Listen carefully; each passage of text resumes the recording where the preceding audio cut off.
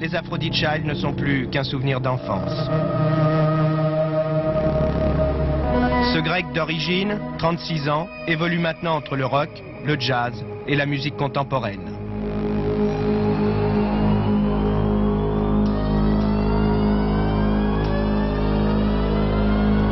J'essaye de, faire de la musique avec le moins euh, points de référence possible, moins de clichés possible et beaucoup plus d'aventure. Donc je sais jamais qu'est-ce que je veux faire.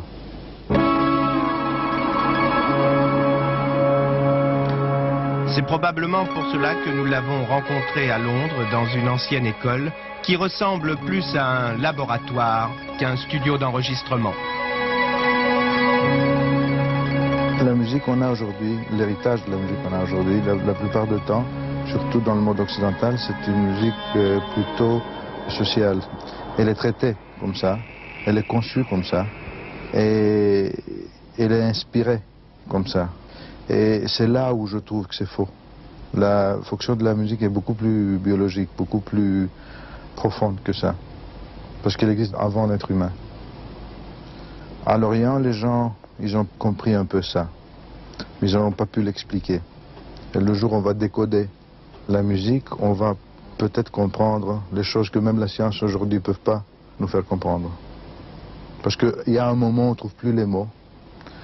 Et, mais là, on ne trouve plus le mot, on trouve la musique. Mais quand on trouve la musique, on essaie de l'expliquer.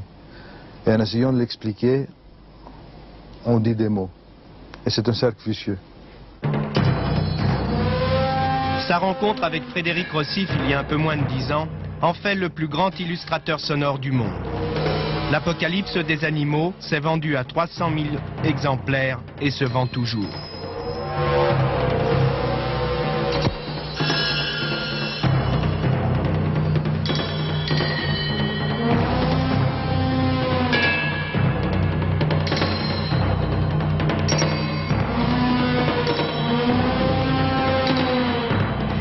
Est-ce qu'un jour un ordinateur pourra jouer ou écrire votre musique Il peut jouer à écrire la musique qui est déjà programmée pour faire. C'est-à-dire l'ordinateur marche comme la, la logique et comme le- l'intellect de, de l'être humain. C'est-à-dire il est toujours en deuxième plan. Il est toujours après.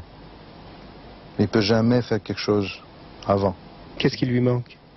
Ça lui manque le- la décision. Les émotions. Non, pas les émotions. Euh, Les émotions, c'est peut-être un peu, un peu romantique à dire. Parce que même les émotions, on peut, on peut les expliquer et, et le programmer avec certaines émotions.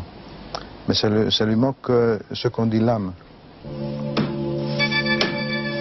Quand il ferme les yeux et qu'il écoute sa propre musique, Vangelis voit des masses, des volumes, des distances, de l'électricité.